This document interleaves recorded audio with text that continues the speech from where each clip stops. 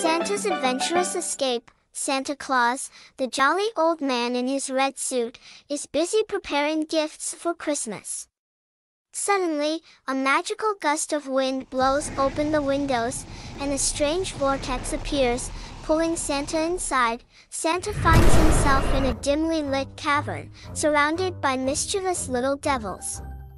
One devil in particular, Vixen, the mischievous leader, approaches Santa with curiosity. Santa, looking around, confused, Where am I? Welcome to the Devil's Trap. You stumbled into our secret domain, Santa Claus. Santa notices that the cavern is decorated in a rather chaotic way, with everything upside down and disarrayed. But why would you trap me? I bring joy and happiness to children around the world. You know that. We're tired of you getting all the attention. We want the spotlight to ourselves this Christmas. You know that without me, Christmas won't be the same. It's about spreading love and kindness, not causing chaos. Maybe you're right. But how will we keep the Christmas spirit alive without you? Let's work together. We can make this the most memorable Christmas yet.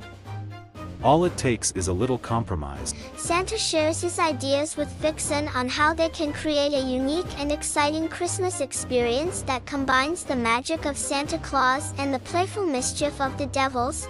Christmas Eve has arrived, and the North Pole Village is transformed into a fantastical wonderland. Cookies are placed upside down, stockings are hung in unusual places, and gifts are hidden in unexpected spots. Children wake up to the upside down world of Christmas, puzzled but delighted by the adventure. The mischievous devils help Santa deliver presents, bringing joy and laughter to every house they visit. The next morning, children wake up to find gifts and notes left by Santa and the devils.